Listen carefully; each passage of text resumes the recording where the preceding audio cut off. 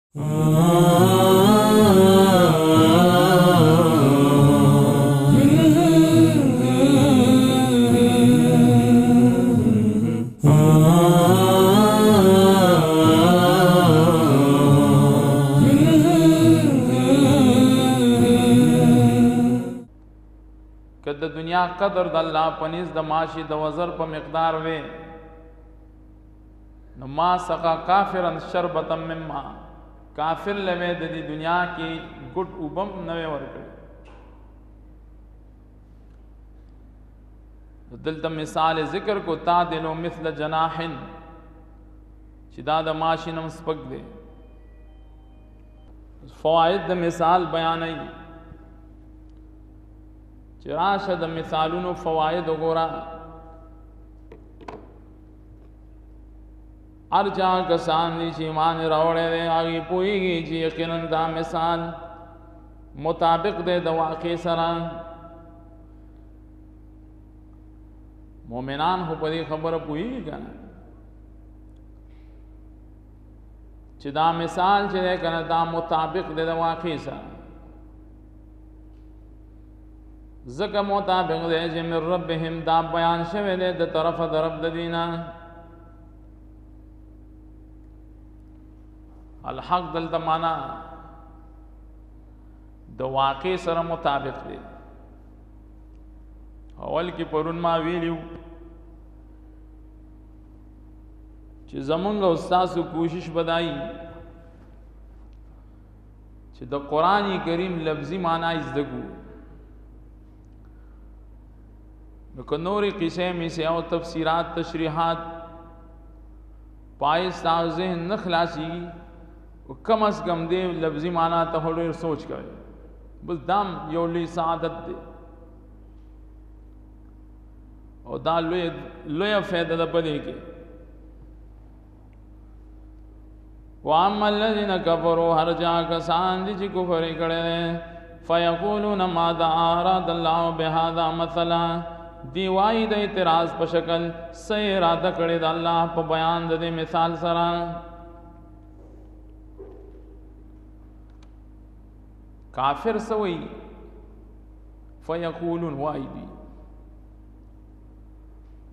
خدا ویل د دې د ځان د پوی د پاره نه دی غوړي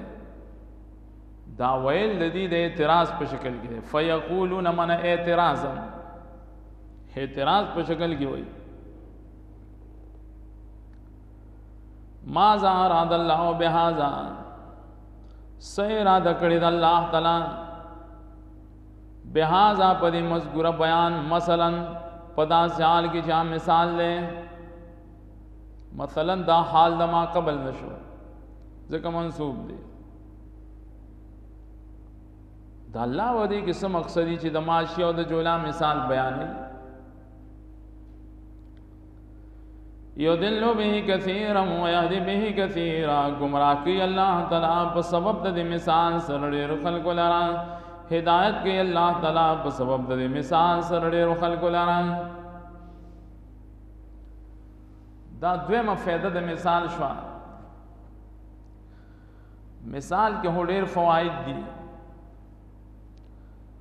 دویمه فائدہ دا ده چې کله مثال بیان شي دا مثال په ذریعه چاته هدایت ملو شي څوک په گمراه شي ورسته سوره مدثر کې بم راشي نلس ملائک الله په جهنم مقرر کړی دي دی وی چې دا نلس ولې مقرر کړی څوک گمراه کوي چاته هدایت کوي دلته مسله دا ده چې گمراهان هډیر دي کنه یدل به کثیرا ويهدي به کثیرا دا هو نشي کېږي هدایفته خلک خو په مقابله د ګمراهانو کې کم دي دلته کثیره نه ولې ویل جواب دا دی چې د کثرت فی نفسه وایي ټیک دا کم دی هو فی نفسه هو بیا هم زیات دي کنه د دې داسې مثال دی لکه یو سړی سره یو کروڑ روپۍ بل سره 50 لکه نو دا 50 لک روپے هو د کروڑ نه کمی دي خو فی نفسه هو بیا هم زیات دي کنه کثرت فی نفسه دا معنا او دې کې مؤمنانو ته یو قسم تسلی ورکړي چې تاسو خفه نشئ تاسو هم ګورئ څه کم نه ښه تاسو هم زیات یې ښه مسلمانانو ته وي افغان مکوي وما يذل به الا الفاسقين گمراه کوي په دې مثال سره موږ نافرمان خلک فاسق سره به گمراه کیږي فاسق چاته وي الخارج عن طاعت الله د الله تابعدارین چې سوګوتی د فاسق وي اوس د فاسقینو تشریح وورا قران پاک چې کومه تشریح کړی دا کم تعریف کړی دی الذين ينقضون عهد الله دا فاسقان ها کسان چې ماته د الله لوزن لرا من بعد میثاقه پس د مضبوط والی دا وینا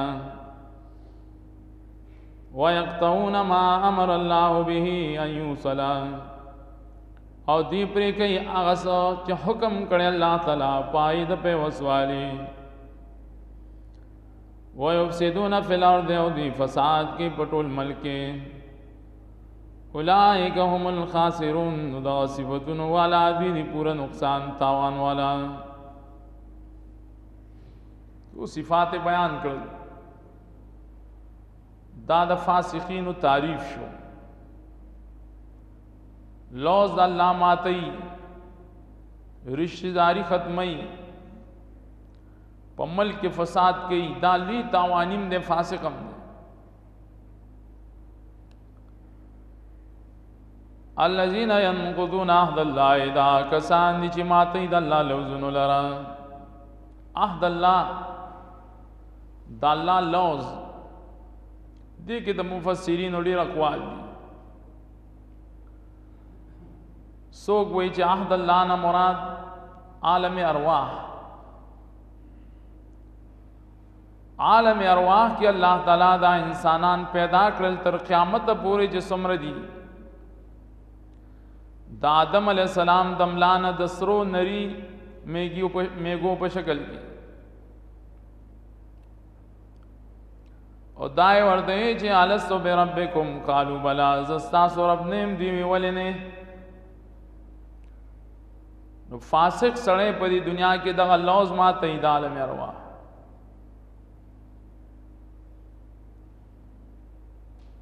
یا عهد الله نه مراد معجزات د رسولانو دي رسولانو له چې الله کوم معجزات ورکړي دي نو دا د الله لوزونه دي معجزات الرسل او تا هغه نه منې دا یې نه انکار کوي نور هم ډېر مصداقات دي دی من بعد میثاقی پس د مضبوط والی دا غینا الله وی دا کار چې دی کی دی په هیر نه کوي بلکې دا لوز خو مضبوط دی فاسق سره چې یو کار ورانه نو قصدن ورانه بل صفت دا ہے و یقتون ما امر الله بی یوسلا ان په فعل مضارع داخل شوی معنا مصدری ده دا دی پرې کوي هغه څه چې حکم کړی د الله تعالی دا یو سلد په وسوالي الله حکم کړی چې رشتہ داری په پیاله نه دی پرې کوي دین مراد صلت الارحام رشتہ داری پاله نه دی پرې کوي الله دې حکم کړی یا یو عام خبره ده انسانانو د یو بل سره تعلقي د یو بل سره دوستانی وي د یو بل سره رشتہ داری دی روله کې هغه د دنیا د اغراض د وجه پری کیخه درم دا چې دی ورانه کې پس مګه کې ذکر د زمکه مراد د دې ټوله دنیا ده خو اسمان ځکه نه ذکر کوي چې په اسمان کې د دې وس نه رسی کنه ځکه تخصیصي د ځمکې کړي اولائک هم الخاسرون دا صفتون والا دی دی پورا تاوانیان په دنیا کې په آخرت کې د آیت کریمه کې تاوانی سړی درې اسباب بیان شو الله یې که تاوانی سړی پیژنې نو راشه دا د صفات چې چا کیخه نورم شتا قران کې تفاسیرو کې دای مستقل وضاحتونه شوي دي بیا دای د بقا د پاره چې یو انسان واړي چې زه تاوان نه بچ شم نو سوره عصر مکمل په دې باب کې الله نازل کړی دی آلته د تاوان د بچاو د پاره سلور اسباب الله خو دلی دي الا الذين امنوا وعملوا الصالحات دعا وتواصوا بالحق وتواصوا بالصبر دوی دې کې راځم دا اسباب دي چې د پوجا انسان د تاوان نه بچ کیږي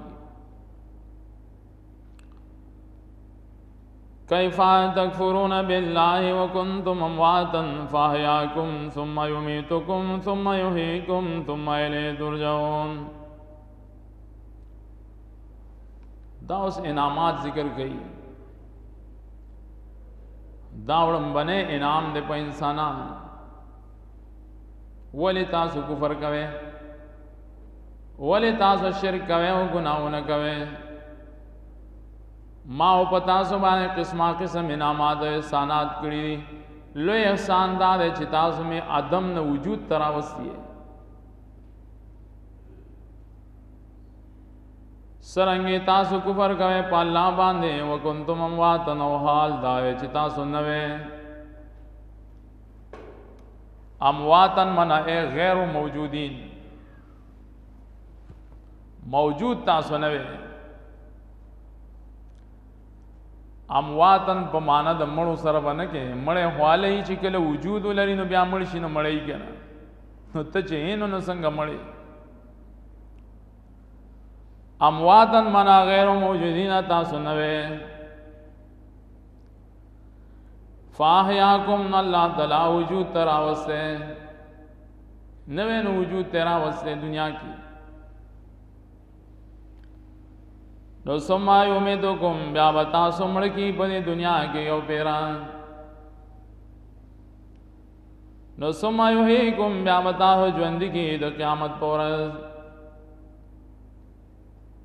ثم یحییکم من یوم القیامه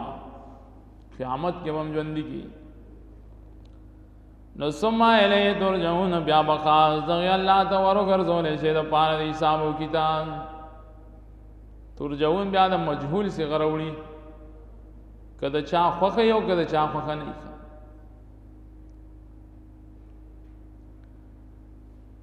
دا سه معنا وکړه لکه ما چې وکړه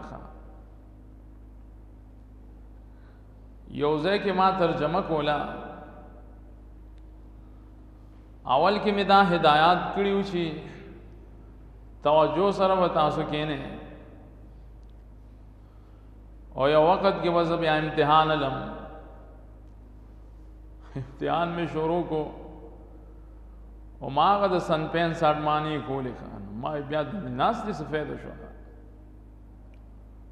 مونږ هم ګوره دونه ځان ستړي کوو ما سوتن کې راځو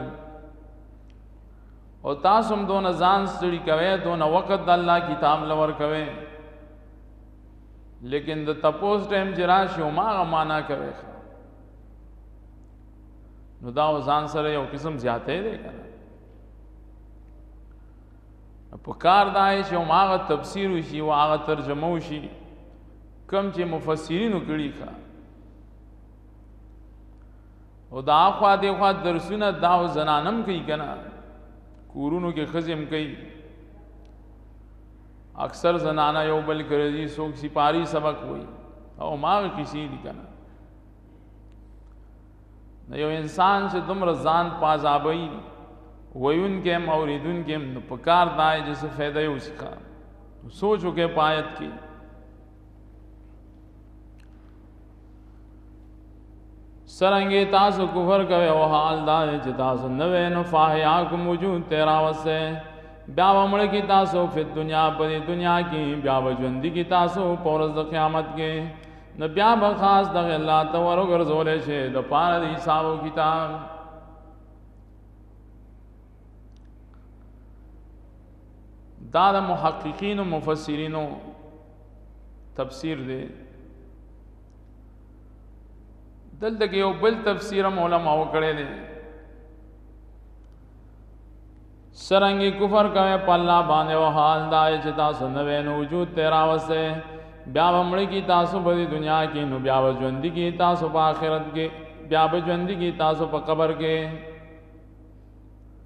نو بیا به دې الله ته ور وګرځولی شي په ورځ د قیامت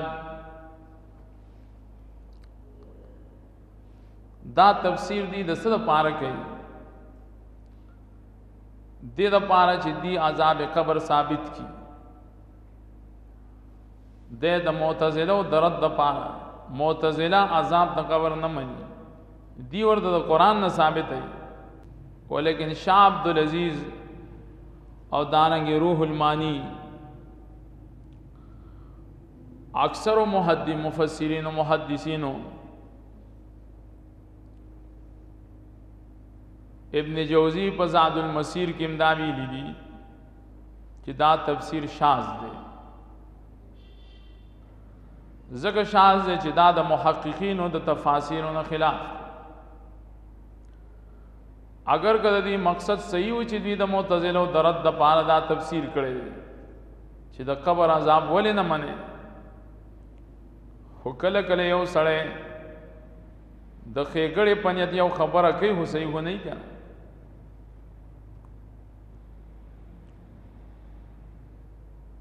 نو پدې کې آی خطا شي دي دعذاب قبر دپاره مستقل احادیث شته مستقل آیتونه شته او دې آیت کې عذاب قبر تفسیر او دای وضاحت نشته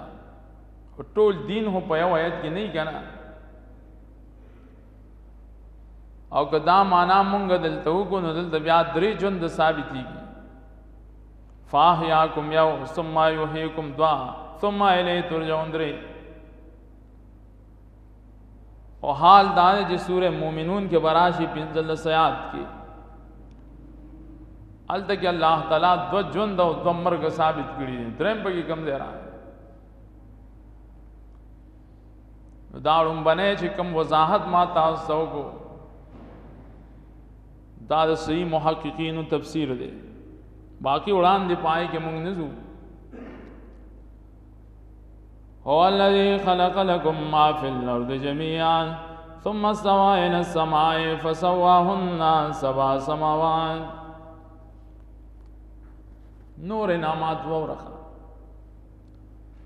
الله غزاد دې چې پیدا کړی دي تاسو د فائدې لپاره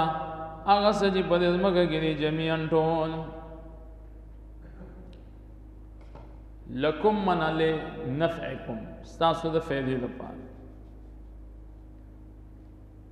فلور دې په دې ځمکه کې د پاسه دي ګزمکه کې دنه نه دي ځکه ظرف مظروف دوه مراد دي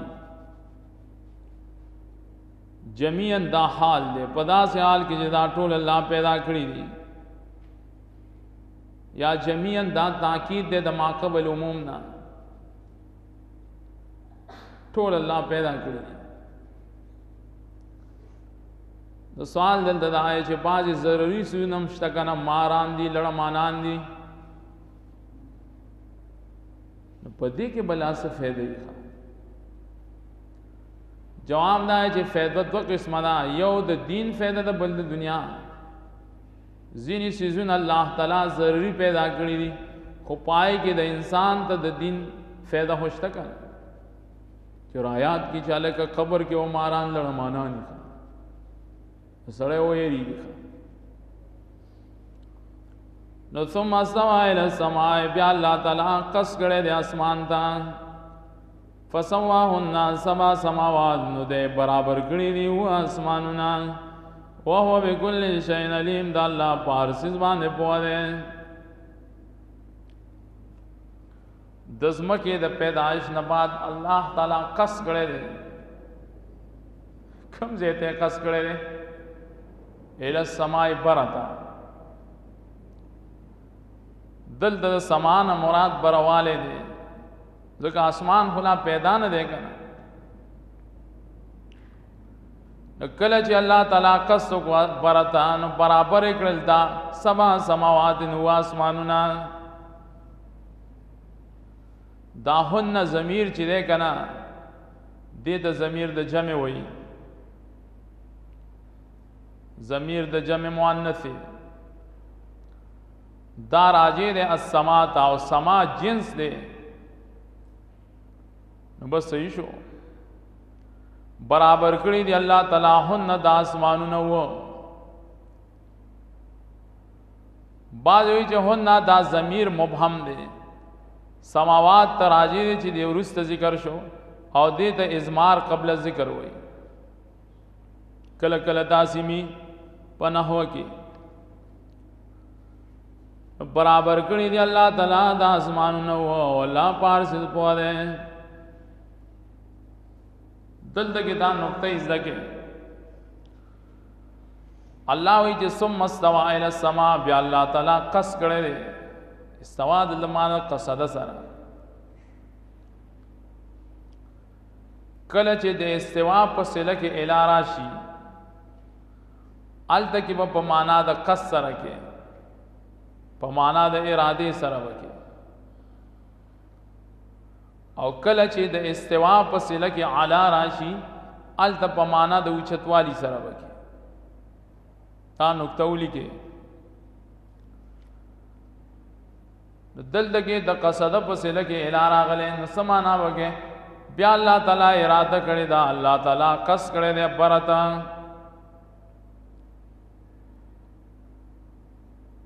او کله چې د استوا په سله کې اعلی راشي لکه الرحمنو علی العرش استوا دلته استوا په سله کې اعلی راغی دلته کې بس معنا کې آل تکیو مانا کې اعلی ورتفا رحمان ذات پارش باندې بر شوی دی هر ځکه به کوئی جدا جدا مانا کې هر سرګلی نه به شاګل نه جوړه چې هر ځکه استوا راشي او ته یو مانا کې هر ځکه مخبل خپل مقصدی دی دیو قرآنی کریم د عربیت په زبان کې نازل شوی دی نو هغه سي تحقیق وکړي قال ربك للملائكة إذ قال ربك للملائكة إني جاعل في الأرض خليفة تا بل یو انعام وګوره الله تعالی بل انعام ذکر کوي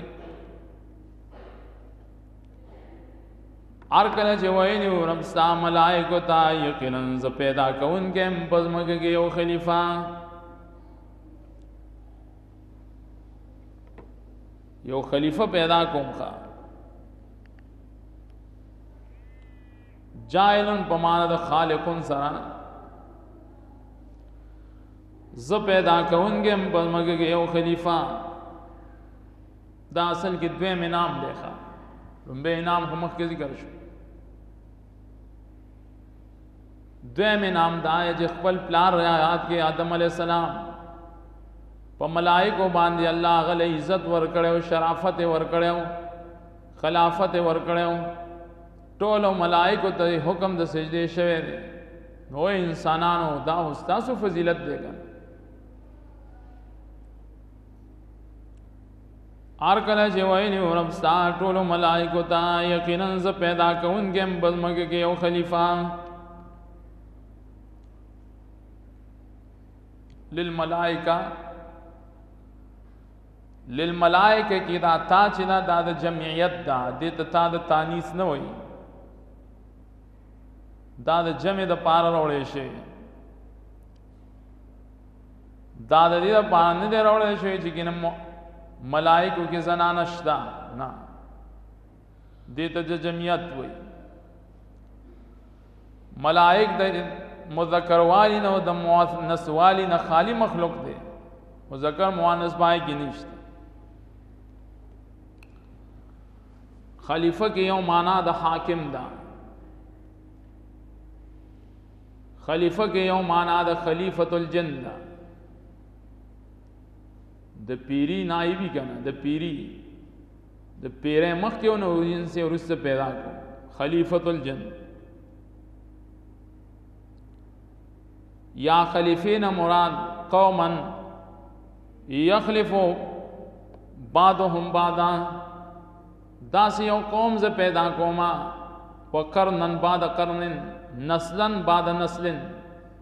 یو نسل به مړ کېږي نو بل نسل به پیدا کېږي یو بل پسې راتلونکي زمونږ نیکونه وو نو پلاران رالل بیا مونږ رالو دغسې دې ته خلیفه وایي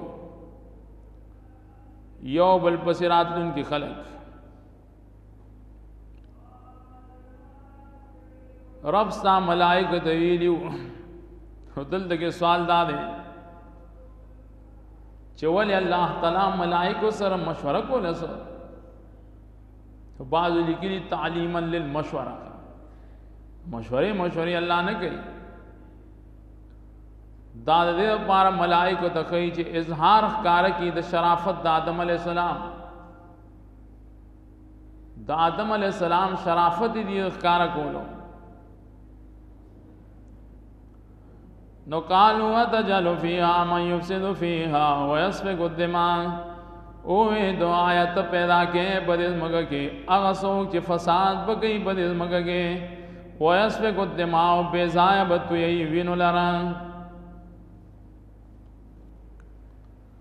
دا سه څوک ته څنګه پیدا کې چې په دې ځمکه کې فساد کوي ويسفك الدماء دې ته تخصیص بعد تعمیم وي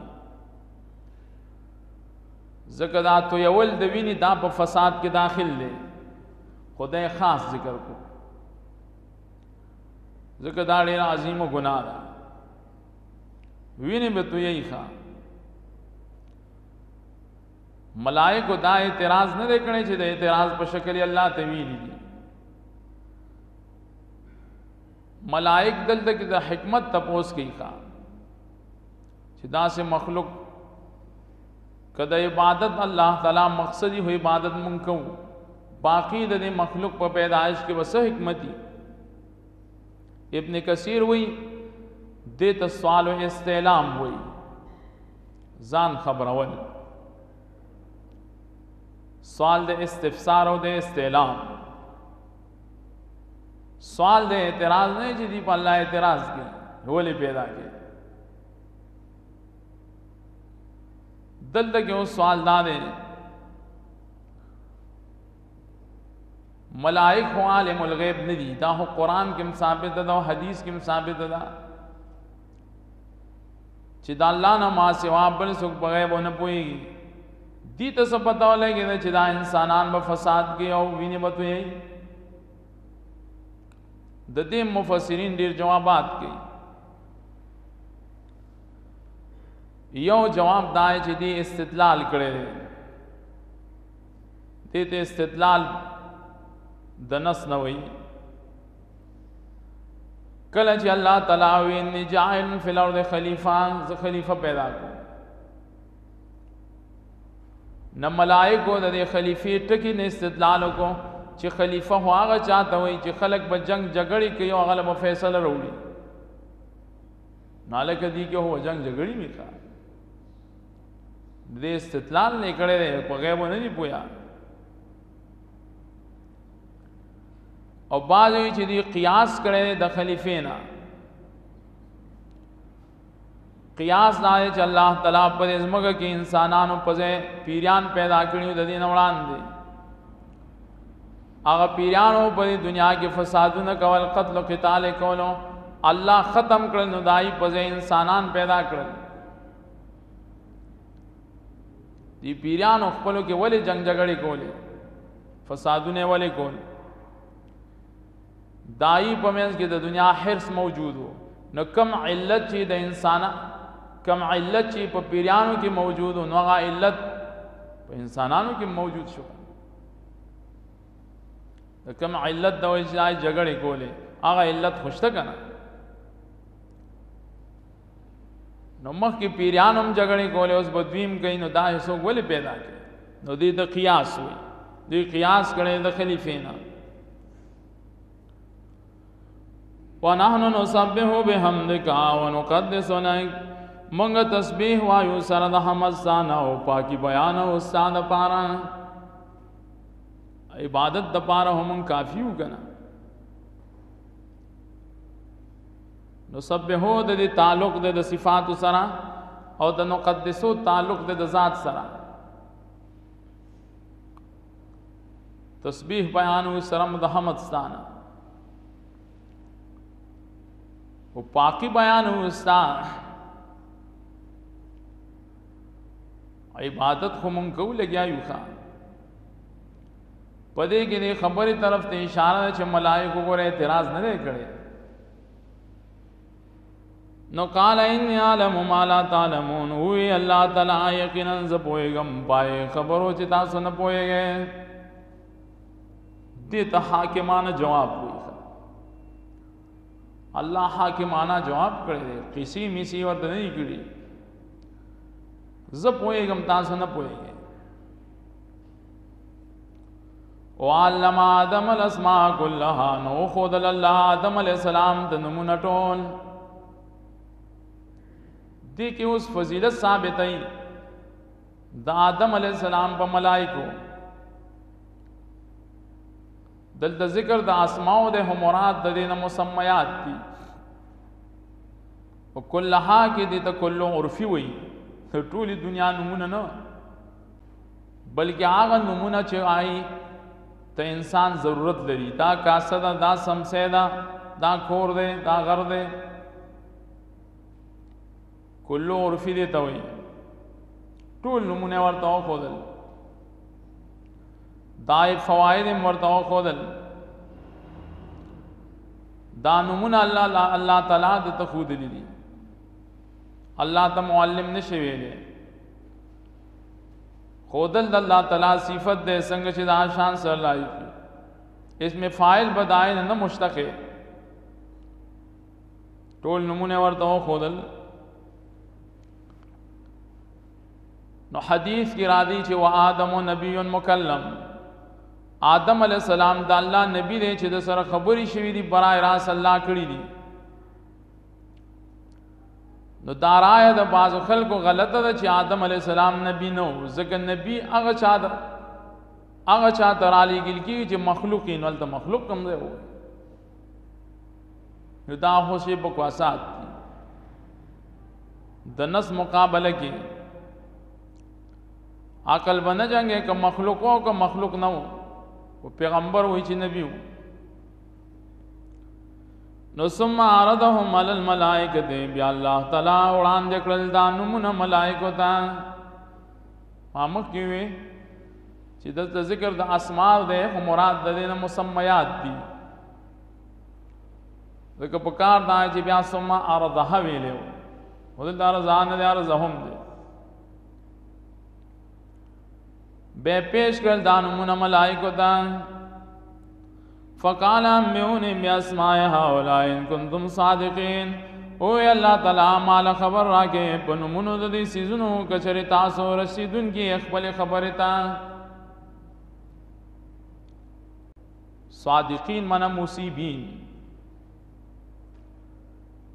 خپل رائے ته خپل سوچ او فکر ته ابو حیان دلته وی بحر المحیط کې ان کنتم صادقین من مصیبینا صدق په مقابل د کذب کې نه دی وره تاسو رښتینی انو معنا ملائک دروغجن وسه اکه تاسو په دې خبره کې رسیدون کې صحیح معلومات وتا او ما ته خبر راکې ګور عرض دا مستلزم د علم لره نه ملائکو ته دا نمونه پیش کړی دي لیکن ملائکو جواب نه کړی کوم روایت کې راځي چې په نبی سلام باندې عرض د اعمال کیږي نو عرض د اعمال دا مستلزم د دې لپاره نه چې نبی دا سړی پیژني په باز عمرو لړ شي جاهل ورته وي الکه وي ال په پیغمبر زما سلام وایا ته هغه د پلار په کوټه کې اوسې دی او دې پیژني ښه نو عارض مستلزم دی لره نه دی چې دی به پیژني ملائکو باندې عرض د اسماء شوه دی لیکن ملائکو ته پته نشته او بل دا چې دغه روایت د عرض والا دا ضعیف دي دا صحیح دي نه چې کوم روایت راځي چې په نبی باندې عرض د اعمال کی نو دا روایت ضعیف دي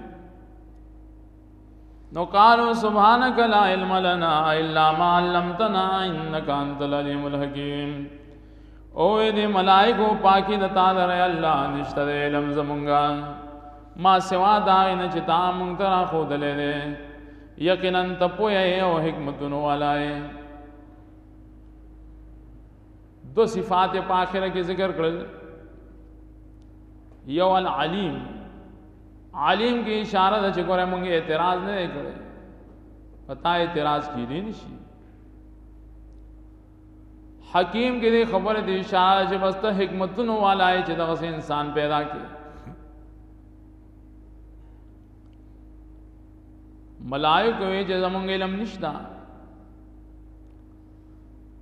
بالکل نشته نه ما سوا دا نه چې دا مونږ ته راښودلی دی او خلکو بیا دلته قیسی جوړی کړی دي وی دا شیطان نه دا ابلیس وی دا د ملائکه استاد وی خو د دومره لوی علم او خاص کر دا خبرې هغه خلک کوي چې د علماو ګستاهي او سپکې وایي همړه وایي علم خو د شیطان هم وایي ښه ګوره وایي ملایکو ته به هغه علم ښودو دا کوم ځای کې دي ښه ملائکو نسبت د علم الله ته کړی دی هغه علم یا الله چې تا مونږ ته راښودلی دی باقي زمونږ علم نشته ځکه شیطان علم کوم ځای کې راغی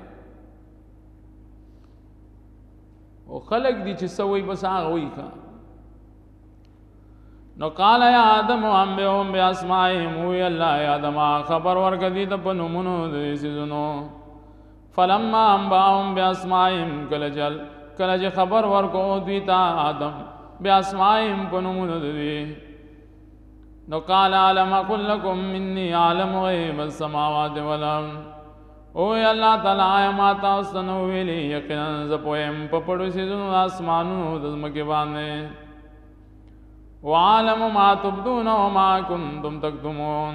او زه پوهېږم پای خبرو چې تاسو ښکاره کوي او پای خبرو چې تاسو پټوي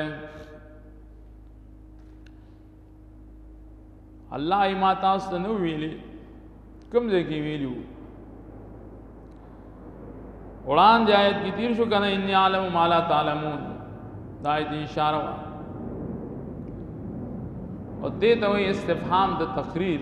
او تاسو ته نو ویلي بالکل الله ویلي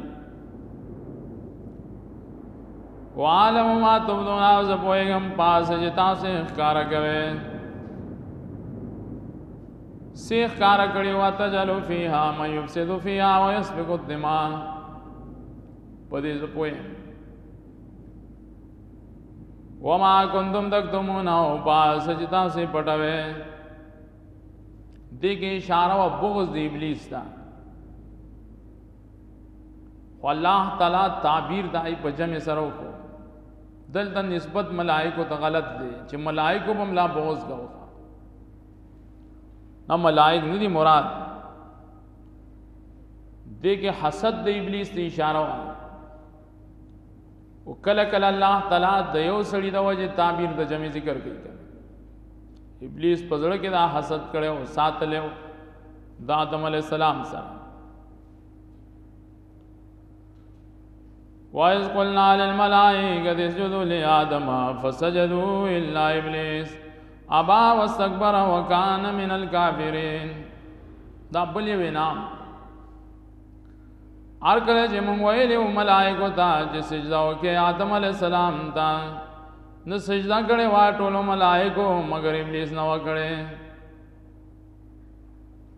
قلنا الله مونږ ویلیو نو الہه ډیر ندی یو دی قلتو ولې نه وای کله کله دا جمع چې د تعظیم د پاره نو الله تعالی یو عظیم ذات دنه صيغه جمع راوړي ملائکو ته من ټولو ملائکو ته دلته بیا بعضو لیکلي چې دا د خاص ملائکو آی ته حکم د سجدې شوی شیخ الاسلام ابن قیم شیخ الاسلام ابن تیمیه په دې مسله رد کړی دی چې تخصیص د ملائکو صحیح ثابت نه دی دغه سوره سواد کې ور سره اجمعون راځي اجمعون كلهم اجمعون دنه معلومیږي چې دا حکم ټولو ملائکو ته دی سجده وکړه له آدم آدم علی السلام ته سجده هو غیر الله ته شرک دی کنه نو باز جواب کوي چې له آدم کې د الله په معنا د اله سره دی من اله آدم په طرف د آدم نو سجده به اصل کې الله تعالی ته شي او د آدم به قبله شي لکه سرنګ چې موږ سجده الله ته کوو لیکن قبلم کعبه ده لام په معنا د اله سره بشي دا پاغه صورت کې چې کله د سجدې نه مراد هم دا سجده مراد شي سجده عرفي او کله چې د سجدې نه مراد سجده د تعظیم شي چې آیت انحنا وي اسې سرخ کته کول لکه بعضو پیرانو ته چې مریدان ښکته شي دې ته سجده د انحنا وي بیا لام په معنا د خپل معنا سره ده او دغه په ادیانی سابقه او کې دا سجده وا سجده الانحنا د تعظیم د پار غیر الله تخکت کېدل زمون په شریعت کې دام حرام شو نبی سم صحابه ته وی لا ينهني لا يهني احد لاحد باز د باز د پار نخکت کېږي د تعظیم د پاره بیا دا زمون شریعت کې حرام شو نو دو تعبیر ما تاسو ته وکړل چې کله د سجدې نه مراد عرفي سجده شي نو لعادم کې لام په معنا د اعلاز شي او کله چې د سجدې نه مراد سجده د انحنا شي نو لام په خپل معنا او بیا زمون شریعت کې دام حرام فسجدون سجده وکړه ټول ملائکو الا ابلیس مگر ابلیس نکړه دلته کې بیا اختلاف دی د مفسرینو په دې استثناء متصل منقطع کې چې دا استثناء متصل دی که منقطع ده نو چا ویلي چې دا متصل دی نو چې متصل دی نو بیا ثابته شي چې ابلیس د ملایکو د جنس نه دی ځکه مستثنا د مستثنا منه د جنس نه دی کله چې متصلی نو چې متصل شي نو بیا دا مسله ثابت شو نو بیا د اعتراض د دفعه د پاره هغه توجیهات ذکر کړی دي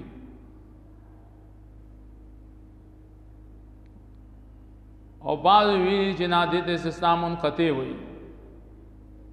او مستثنا د مستثنا منه د جنس نه نه دا هو صرف علمی قواعد دي باقی مونږ سکو که مستثنا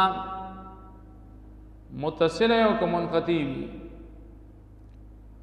مونږ به د مسلې حل د قران کریم نه روباسو او د احادیث نه روباسو نو قران کریم له براشي چې ابلیس د ملائکو نه دی او کنه د ابلیس د چا نه دی نو سورۃ الکهف کې الله دا مضمون بیان کړی دی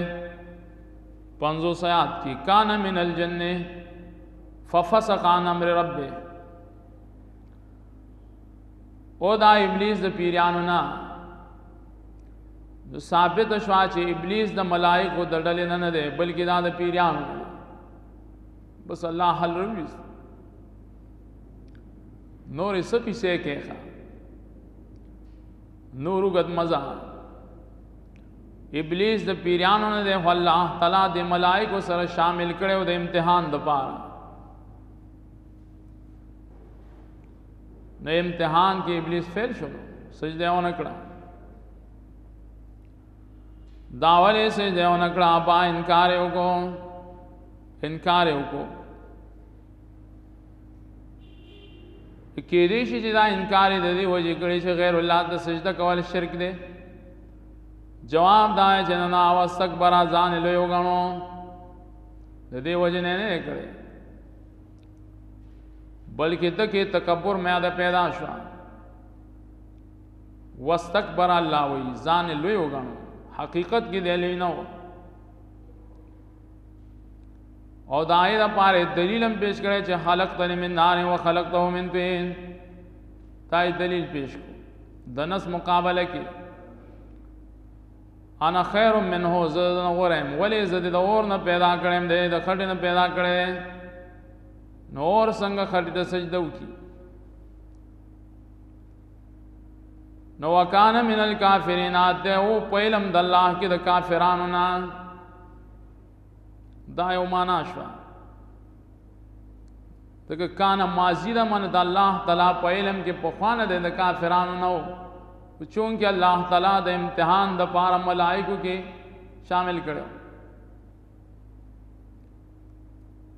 یا دلته کې کان په معنا د سار سره اوس وګرځیدو د کافرانو نه